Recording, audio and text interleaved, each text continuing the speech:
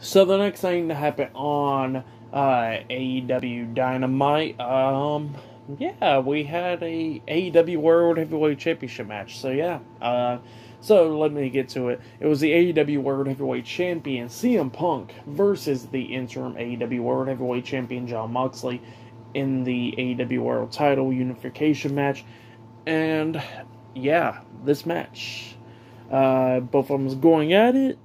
CM Punk was getting a little bit offensive, but then we see at the ending where he hits that roundhouse kick on the Jon Moxley. Uh, apparently, his foot got uh, injured again, and then Moxley uh, beats him down, laying in some elbows, going after the foot, and then hit the paradigm shift once, and then lifts him back up, and then hit him again with it again, and then pins him for the three count. So yeah, Jon Moxley defeated CM Punk to become the undisputed AEW World Heavyweight Champion. So yeah, that's what happened there.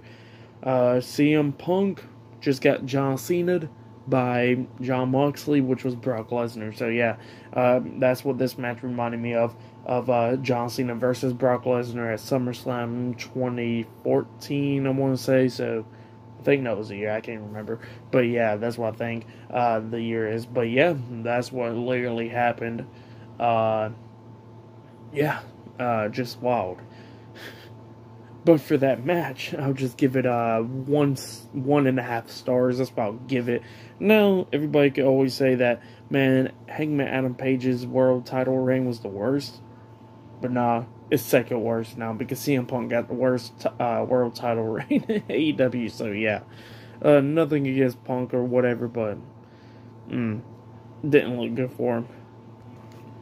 But then we see Tony Schiavone backstage and he's interviewing Christian Cage and he says, Do you accept Jungle Boy's challenge at All Out? And Christian Cage was going, uh, cutting promo and stuff, talking about how Jungle Boy said all those hurtful things to him and how it's Jungle Boy's fault for losing the AEW World Tag Team Championships and all that.